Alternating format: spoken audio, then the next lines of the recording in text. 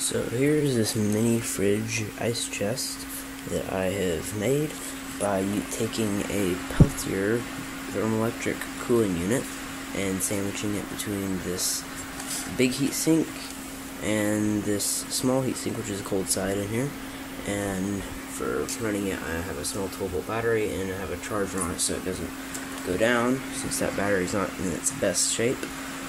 Uh, but I've got a beef, I have a fan on there, a pretty powerful one, um, and a smaller fan on this side. And uh, let me try to hold this with the camera and get my uh, temp gun. And it's, if I can get it on there, it's about 70 on that thing. But, uh, let me put it on the lid and I'll show. Okay, so I have this on there and it is cooling down the inside. And so it's about 78-ish. I just had my finger on there accidentally so it sh showed it warmer. But uh, I have a little hole in the side of this. I'll put it in there.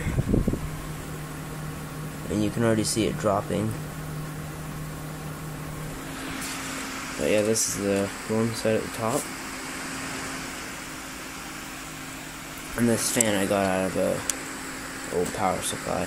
But to make this, you just order a little thermoelectric um, piece. You can get them like this one. Uh, you can get for like uh, 3.45 on eBay. I saw it was the cheapest. But uh, you just get one of those and then find some heat sinks and you'll have to make sure it's got a good contact or it won't work and it'll burn up the thing and you'll want to be careful torquing it down but I just got this uh, cheap about five dollar ice chest from the convenience store and then cut a hole in it for this and put a fan on each side and yep. And so I will get back once it has cooled down a significant amount.